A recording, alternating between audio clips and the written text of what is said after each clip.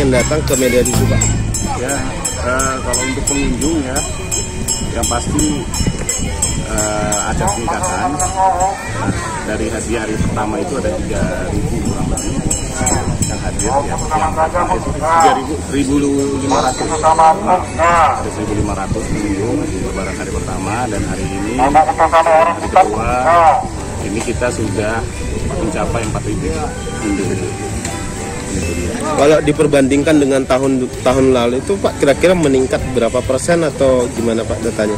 Kalau kita bandingkan, ya, kalau perbandingannya dengan tahun lalu sudah pasti 100% ada peningkatan. Karena tahun lalu eh, kita sempat yang mengalami namanya level 3 ya. Jadi eh, sempat mungkin beberapa saat sempat tutup ya kan? Dan hanya diperbolehkan eh, maksimal sekitar 50%. Nah, itu juga sangat berpengaruh terhadap jumlah pengunjung yang datang ke kebun binatang hari ini. Nah, hari ini sudah pasti ya kita sudah eh, sangat bersyukur ya program vaksinasi pemerintah sudah mulai berjalan dengan baik ya tingkat eh, konfirmasi COVID juga sudah mulai melandai sudah mungkin sudah mulai turun lah bisa kita katakan sama-sama dan eh, rata-rata hampir setiap orang juga sudah mulai menerapkan prokes secara baik terutama di tempat-tempat umum. Gitu untuk terkait protokol kesehatannya ini pak untuk ke kita sekarang di masa lebaran ini apa apa saja yang paling diingatkan kepada para pengunjung dan bagaimana cara kita untuk mengontrolnya pak?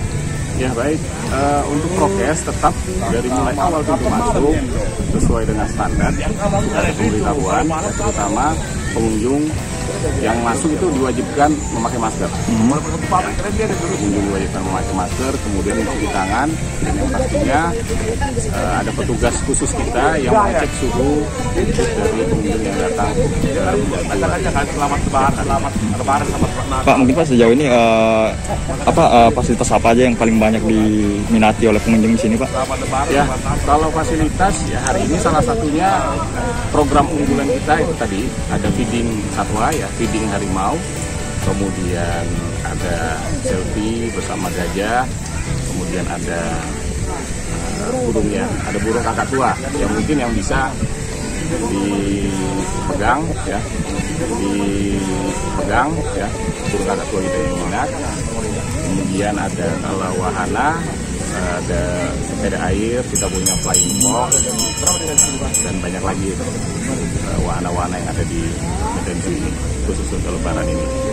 kalau tiket masuk kira-kira itu berapa pak dan untuk misalkan di sini kan ada banyak keluarga warga ya yang pada akhirnya memesan tikar atau segala macam itu biayanya berapaan kisaran pak Ya baik, kalau untuk tiket masuk kita masih tetap sama, tidak berubah. Karena tiket masuk ini kan dari pemerintah yang menetapkan itu sekitar Rp20.000 ya, khusus untuk libur lebaran.